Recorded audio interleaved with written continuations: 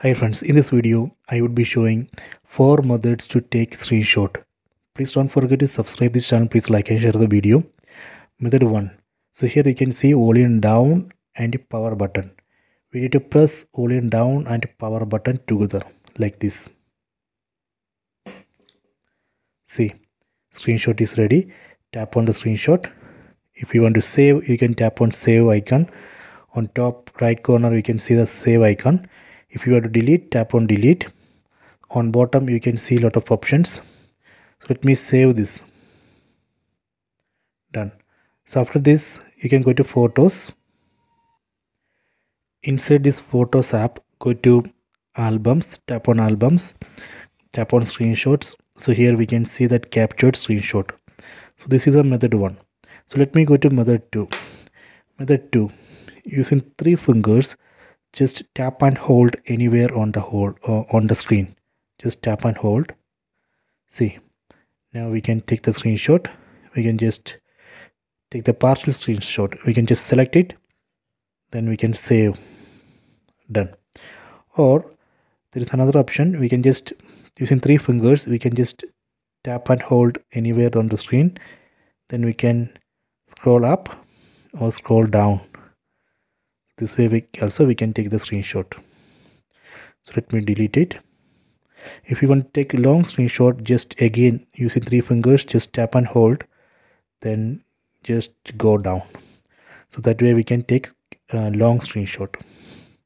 So this is a method 2 let me go to method 3 method 3 from top swipe down. Again swipe down. Then swipe left so here you can see the screenshot. You can tap on the screenshot button.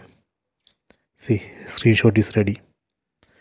Or again scroll down scroll down then swipe left then tap here on the screenshot label.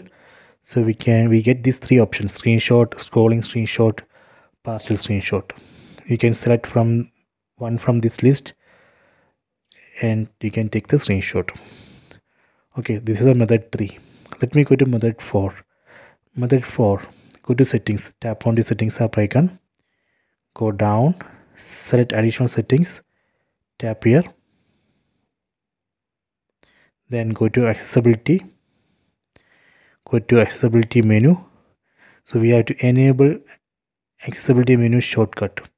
We can just tap here and enable accessibility menu shortcut. So we get this shortcut button using this shortcut button we can take screenshot.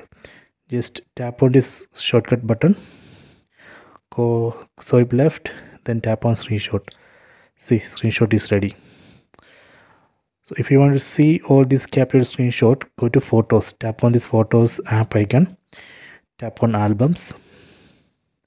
Tap on screenshot. So here we can see all captured screenshots so these are four methods to take screenshot. I hope you have enjoyed this video. Please subscribe this channel. Please like and share the video